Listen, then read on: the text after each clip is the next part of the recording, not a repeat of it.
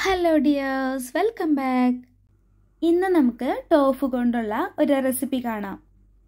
Tofu മസാലയാണ് ഉണ്ടാക്കുന്നത്. ഇത് ചപ്പാത്തിക്കും പൊറോട്ടയ്ക്കും റൈസിനും എല്ലാം കൂടെ കഴിക്കാൻ പറ്റിയ നല്ലൊരു ടേസ്റ്റി മസാലക്കറിയാണ്. അപ്പോൾ നമുക്ക് റെസിപ്പിയിലേക്ക് പോവാം. ഞാനിവിടെ മുന്നൂറ്റമ്പത് ഗ്രാം ടോഫു ആണ് എടുത്തിരിക്കുന്നത്. ടോഫു അത്ര പരിചിതമല്ലാത്തവരുണ്ടാവും. അവർക്ക് വേണ്ടി പറയുവാണ് ഇത് സോയാബീൻ മിൽക്കിൽ നിന്നും ഉണ്ടാക്കിയെടുക്കുന്നതാണ്. ഇതിനെ സോയ പനീർ എന്നും പറയാറുണ്ട്. കുറേയധികം ഹെൽത്ത് ബെനിഫിറ്റ്സ് ഇതിനുണ്ട് കേട്ടോ ഇതിൽ പ്രോട്ടീൻ റിച്ച് ആണ് ഫാറ്റ് കണ്ടന്റ് കുറവാണ്. ഇത് കഴിക്കുന്നത് നമ്മുടെ സ്കിന്നിനും ഹെയറിനും ഹേർട്ടിനൊക്കെ വളരെയധികം നല്ലതാണ്. അതുകൂടാതെ വെയ്റ്റ് ലോസ് ആഗ്രഹിക്കുന്നവർക്കും ഇത് കഴിക്കുന്നത് നല്ലതാണ്. ആദ്യം തന്നെ ഈ ടോഫു ഒന്ന് കട്ടാക്കി എടുക്കാം. നിങ്ങൾക്ക് ഇഷ്ടമുള്ള പോലെ സ്ക്വയർ ഷേപ്പിലോ ട്രയാങ്കിൾ ഷേപ്പിലോ കട്ട് ചെയ്തെടുത്തോളൂ. ഞാൻ ഇതുപോലെ ട്രയാങ്കിൾ ഷേപ്പിലാണ് കട്ട് ചെയ്തെടുക്കുന്നത്. ഇപ്പോൾ എല്ലാനും ഒന്ന് കട്ട് ചെയ്തെടുത്തിട്ടുണ്ട്. ഇനി ഇതൊന്ന് മാരിനേറ്റ് ചെയ്തെടുക്കണം. അതിനായിട്ട് ടോഫുവിലേക്ക് രണ്ട് ടീസ്പൂൺ കോൺഫ്ലോർ ഒന്നര ടീസ്പൂൺ കാശ്മീരി മുളക് പൊടി അര ടീസ്പൂൺ കുരുമുളക് പൊടി മുക്കാൽ ടീസ്പൂൺ ഉപ്പ്. ഇത്ര ഇട്ട് കൊടുത്ത ശേഷം നല്ലപോലെ ഒന്ന് മിക്സ് ചെയ്തെടുക്കാം. ടോഫു നല്ല സോഫ്റ്റ് ആയതുകൊണ്ട് കൈകൊണ്ട് ഇളക്കി മിക്സ് ചെയ്തെടുത്താൽ പെട്ടെന്ന് പൊടിഞ്ഞു പോവും. അതുകൊണ്ട് ഇതുപോലെ ഒന്ന് മിക്സ് ചെയ്തെടുത്താൽ മതിയാവും. ഇപ്പോൾ ഇതുപോലെ ഒന്ന് മിക്സ് ചെയ്തെടുത്തിട്ടുണ്ട്. ഇനി ഇത് ഒരു പത്ത് മിനിറ്റ് സമയം റെസ്റ്റ് ചെയ്യാൻ വയ്ക്കാം അപ്പോഴേക്കും നമുക്ക് മസാല ഉണ്ടാക്കാനായിട്ട് ആവശ്യമായതെല്ലാം ഒന്ന് റെഡിയാക്കി വെക്കാം.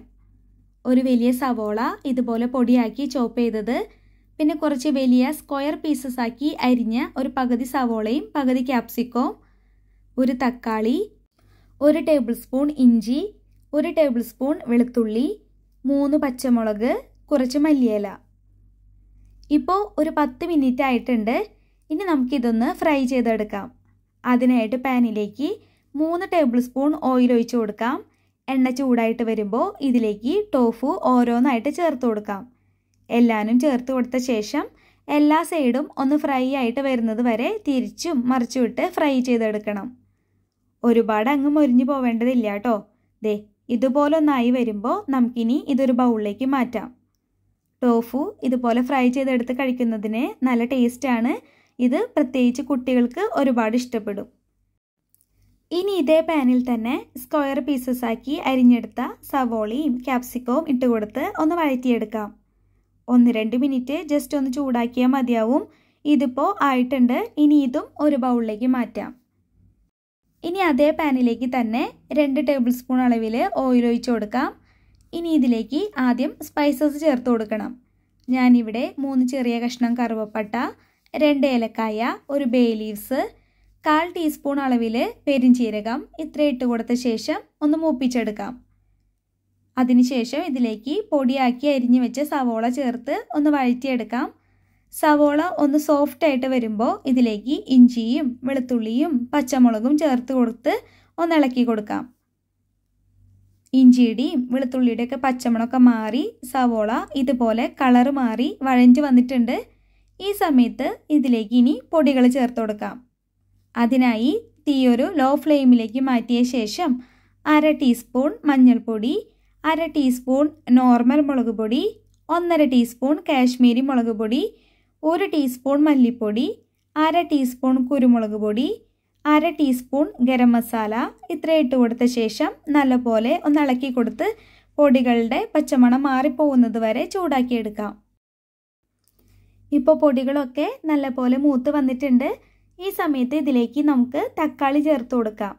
കൂടെ ഒരു മുക്കാൽ ടീസ്പൂൺ ഉപ്പ് കൂടെ ചേർത്ത് നല്ലപോലെ ഒന്ന് മിക്സ് ചെയ്തെടുക്കണം. ഇനി തക്കാളി ഉടഞ്ഞു വരുന്നത് വരെ മൂടി വെച്ച് വേവിച്ചെടുക്കാം. ഇപ്പോൾ തക്കാളി നല്ലപോലെ ഉടഞ്ഞു വന്നിട്ടുണ്ട്. ഈ സമയത്ത് ഇതിലേക്ക് ചൂടുവെള്ളം ഒരു കപ്പ് ചേർത്ത് കൊടുക്കണം. എന്നിട്ട് ഒന്ന് തിളപ്പിച്ചെടുക്കാം.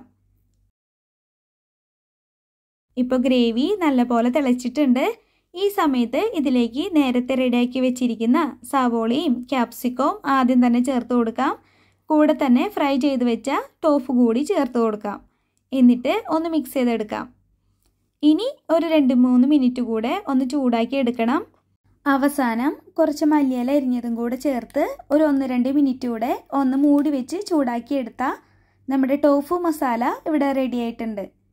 ഇതൊരു സെമി ഗ്രേവി ടൈപ്പ് മസാലക്കറിയാണ് കേട്ടോ ഇത് ചപ്പാത്തിക്കും പൊറോട്ടയ്ക്കും റൈസിനും ഒപ്പം നല്ലൊരു കോമ്പിനേഷനാണ് അപ്പോൾ ടോഫു ഇനി വാങ്ങിക്കുമ്പോൾ ഇങ്ങനെ ഒന്ന് ഉണ്ടാക്കി നോക്കിക്കോളൂ. നല്ല ടേസ്റ്റാണ് ട്രൈ ചെയ്ത് നോക്കിയിട്ട് ഫീഡ്ബാക്ക് അറിയിക്കണേ. റെസിപ്പി ഇഷ്ടപ്പെട്ട വീഡിയോയ്ക്ക് ഒന്ന് ലൈക്ക് ചെയ്ത് എന്റെ ചാനലൊന്ന് സബ്സ്ക്രൈബ് ചെയ്ത് സപ്പോർട്ട് ചെയ്യണേ. അടുത്തൊരു ടേസ്റ്റ് റെസിപ്പി വീഡിയോ ആയിട്ട് നമുക്ക് വീണ്ടും കാണാം.